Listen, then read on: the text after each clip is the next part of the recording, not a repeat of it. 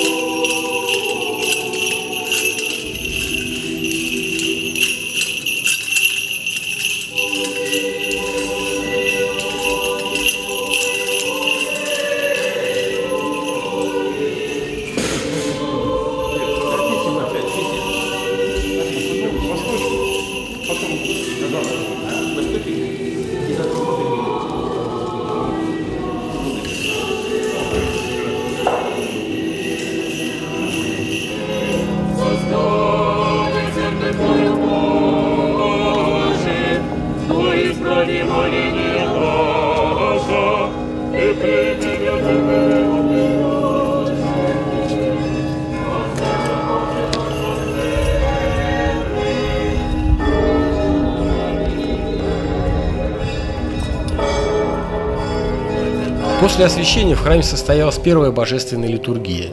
Богослужение возглавил глава Тульской митрополии митрополит Тульский Ефремовский Алексей. Его высокопреосвященству сослужили епископ Белевский Алексинский Серафим и духовенство Тульской митрополии. За божественной литургией молились глава региона губернатор Владимир Груздев с супругой, члены правительства Тульской области, депутаты областного и городского собрания, а также жители города и области.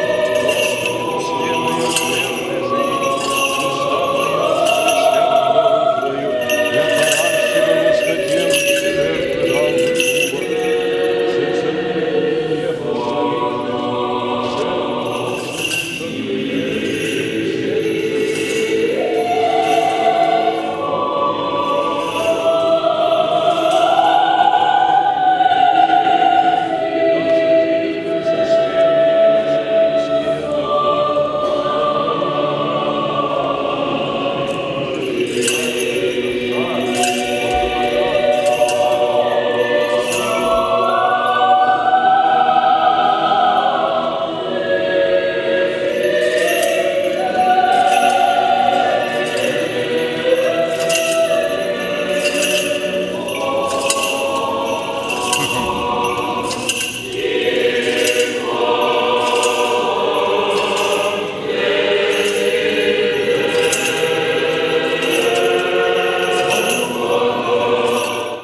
вами, жители славной и древней Тульской земли, в 869 раз друг друга принимательно от отцов-основателей града нашего встречаем ныне в единой семье жителей нашей Тульской области праздник и области нашей, и ее стольного града, то мы в этот праздничный день совершили, вот, завершили, вернее, содействующий нам благодати Святого Духа труды по воссозданию этого величественного. В начале прошлого столетия утраченного здания колокольни Тульского Кремля, возвратив ему не только внешнее его обличие, вернув ему его э, голос через благовесты, которые теперь на своем месте вновь возвещают нам о истинах временного, вечного во временном, но и храм, который стоит как основание этого здания, ныне освящен в честь святого благоверного великого московского князя Дмитрия Донского и благоверной его супруги чудотворицы Евдокии во инокинях Ефросинии,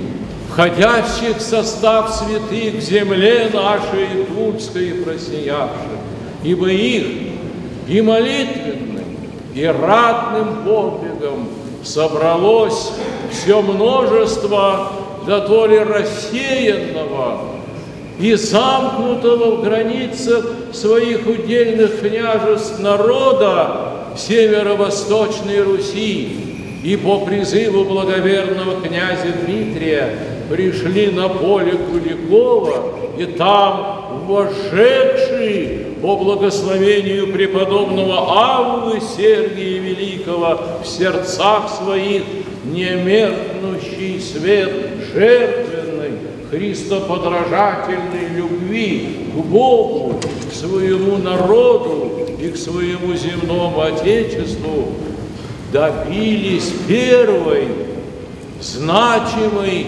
и определившей дальше все развитие и становление государства российского победы на Куликовом поле.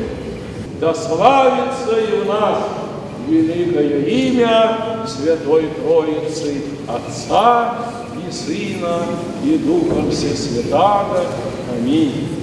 После освящения храм уже не человеческая собственность и не должен быть отторгаем от благодати православного богослужения людьми. Святитель Симеон Солунский, живший в 15 веке, говорит, «Мы часто видим очевидным образом, что неуважающие святынь страдают телесно и, наконец, погибают. Не один, не два, но весьма многие. В Туле же храмы возрождаются и наполняются прихожанами, по молитвам которых Всеблагой Господь простит и тех, кто ранее разрушал эти святыни».